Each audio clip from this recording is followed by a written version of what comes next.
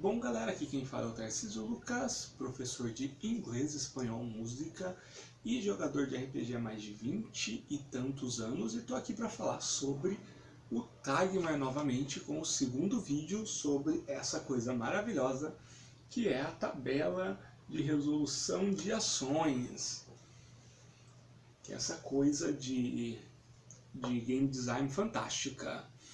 Eu já tenho o vídeo 1 que eu apresento de maneira geral, né, é, a tabela e agora eu vou fazer uma série de vídeos falando sobre pontos bem específicos. E hoje eu vou falar sobre os testes de atributos.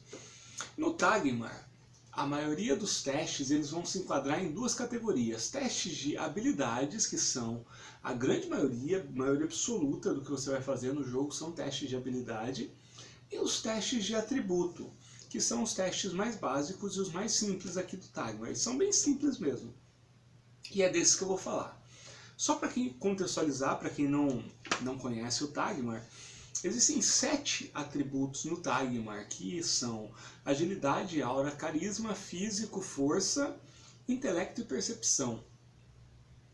E esses atributos é interessante, porque quando você começa a ver o livro, você percebe que tem dois jeitos diferentes de, de determinar eles. Seja na distribuição de pontos, você tem 15 pontos para distribuir entre esses atributos, é, ou através de, de sorteio, você joga três dados de 10, tira o menor resultado e, e aí você consulta uma tabela.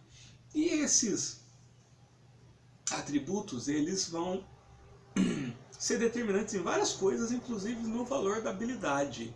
Porque a habilidade ela tem o valor próprio dela e recebe um modificador que é o valor do atributo associado a ela. Mas isso é tema do próximo vídeo. Então, quando você precisa fazer um teste que é só o atributo, por exemplo, você vai tirar um, uma, uma partida de braço de ferro com alguém, é só força. Você precisa se desviar de algo que está vindo na sua é, direção só usando a sua própria agilidade. Então, nesses casos, você vai fazer um teste de atributo, só o atributo. É, e como ele é feito? É, ele é bem simples você vai determinar qual é a coluna, deixa eu pegar aqui, né? Você tem todas essas colunas aqui, né? E tem números em cima de cada coluna, que seria o valor é, de teste. É, é igual o valor do atributo? Não, essa é uma coisa que algumas pessoas confundem. Por exemplo, se eu tenho força 2, não quer dizer que eu vou jogar na tabela, na coluna 2, não. O valor de teste na coluna é o valor do atributo vezes 4. Então, por exemplo, se eu tenho força 2, eu vou jogar, na verdade, na, na coluna 8. E assim funciona, simples assim. E essa é a primeira parte, né? Você determinar que coluna. Só que não é só isso. Você tem vendo, tá vendo que ela está dividida em cores aqui, em partes? Todas essas cores, quando eu estou falando de testes de atributo e habilidades, elas se relacionam ao nível de dificuldade. Então existem os níveis de dificuldade. Então o mestre diz que você vai fazer um teste de força, vai ser na coluna 8, e ele fala, ó, a dificuldade vai ser uma dificuldade fácil, ou vai ser uma dificuldade difícil, ou uma dificuldade muito difícil, ou tem até mesmo uma dificuldade absurda. Cada cor quer dizer isso. Por exemplo, aqui né, eu tenho a primeira parte que é verde. Qualquer resultado que caia nessa, nessa região é uma falha. Tá bom? É...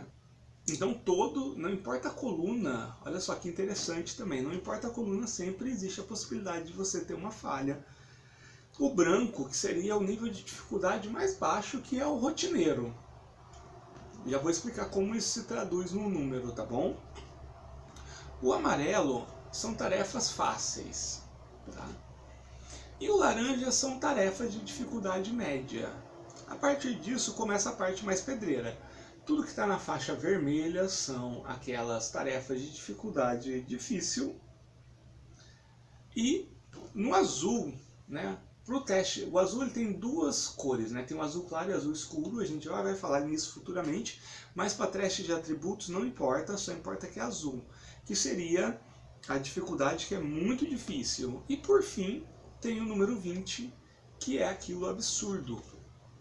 Né? Que é algo que provavelmente não vai acontecer, você não consegue, mas existe essa pequena possibilidade. Então, vamos pegar aquele exemplo, que eu vou fazer um teste de força na coluna 8. E o, o mestre diz que a dificuldade é uma dificuldade difícil, que tem a ver com a, com a cor vermelha. O que, que eu vou fazer? Eu vou na coluna 8 e vou ver qual é o primeiro número da coluna que aparece é, dentro dessa, dessa dificuldade. No caso é o 14. Então, esse é o valor de teste. Eu vou jogar um dado e eu tenho que tirar igual ou maior do que essa é, dificuldade. É bem simples assim, deixa eu bater o olho aqui para ver se não estou falando.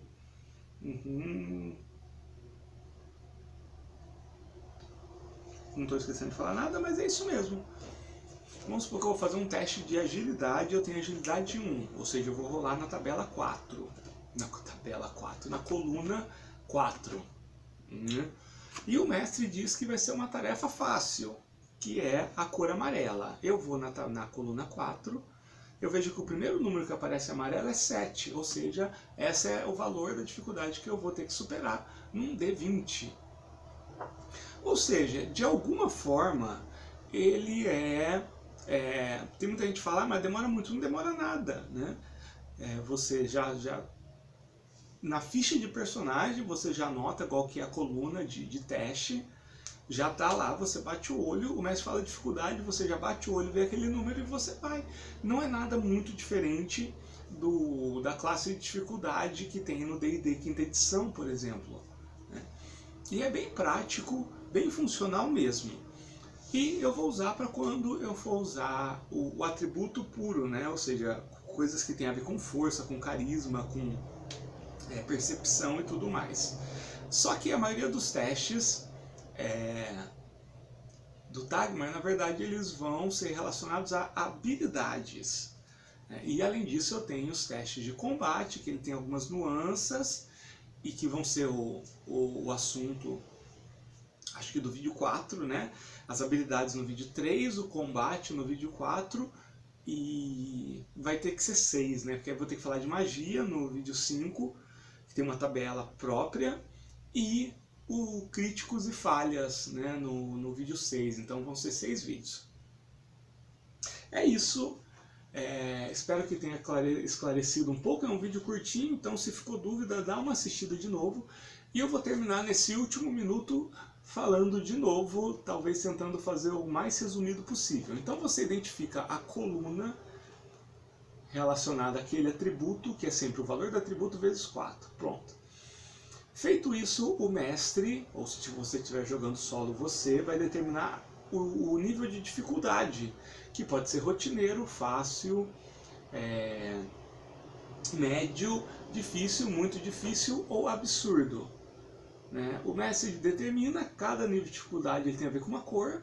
Você, na, na, naquela coluna você identifica o primeiro número e aquele é o valor que você tem que tirar numa rolada de, de um dado de 20 lados, né? aquele número ou maior do que aquele.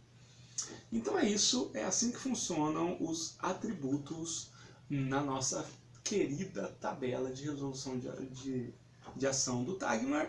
E no próximo vídeo, que será o vídeo número 3, eu vou falar sobre as habilidades, como elas funcionam, tá bom? Então, é, e só para captar, né? Eu estou gostando bastante de falar sobre o Tagmar, então de pouquinho em pouquinho eu quero falar sobre todo o, o sistema, não só sobre a tabela de resolução. Eu quis começar por isso, por realmente ter lido alguns comentários assim muito é, superficiais sobre essa tabela.